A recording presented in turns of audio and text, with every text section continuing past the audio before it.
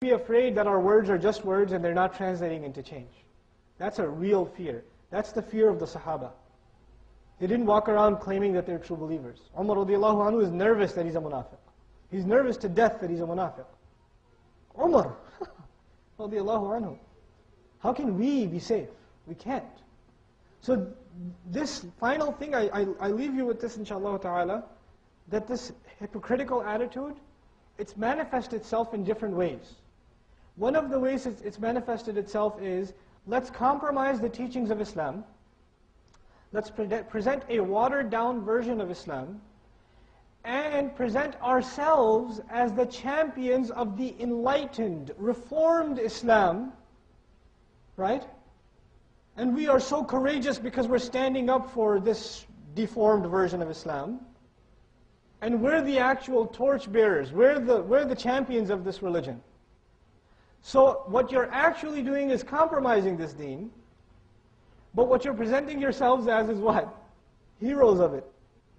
And another great hypocritical scam that's, that's infested this ummah.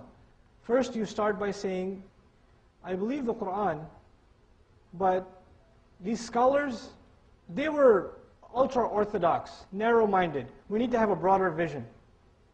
So first you knock on the scholars. When you're done with the scholars, you say, some of these Sahaba, I don't know, they're not messengers, right? We don't have to follow them. Then you take the next step and you say, well, these Sahaba, they're the ones who transmitted hadith. So we, sh we shouldn't really trust the hadith. We can only trust what? The Quran the Quran. And you're not really saying we should follow the Quran because the Quran is authentic, everything else is inauthentic. The real agenda is because the Quran has injunctions that are given precise shape and form in the Sunnah, right? The Quran has general injunctions that are given their precise form in the Sunnah, like the prayer. Prayer isn't outlined piece by piece in the Quran, it is outlined in the Sunnah, right? But you don't want to pray. What's the easiest thing you could do? You could say, you people don't even, you don't have the open mind enough. You're following hadith? Oh my God, you people are backwards. We just follow Quran. What that, what that is, is one of the ultimate scams of hypocrisy. It's a scam. It's all it is. It has no intellectual foundation. It takes a second grader to, to, convince someone who says the hadith can be trusted, Quran can be trusted. If you say one of them can't be trusted, you're saying none of it can be trusted, by the way. The people who transmitted the Quran are the same people who transmitted the Hadith. And if you say they can't be trusted with Hadith, then automatically they can be trusted with Quran? No, no, no, no, no. Either you believe or you don't believe. Pick your sides. It's that simple. It's really that simple. So I wanted to conclude with this in, in our class just to give you some perspective. I pray that Allah enhances you in your knowledge of tajweed. I, I pray that He enhances you in your memorization of Quran. I pray that He enhances you in your knowledge of Qur'an.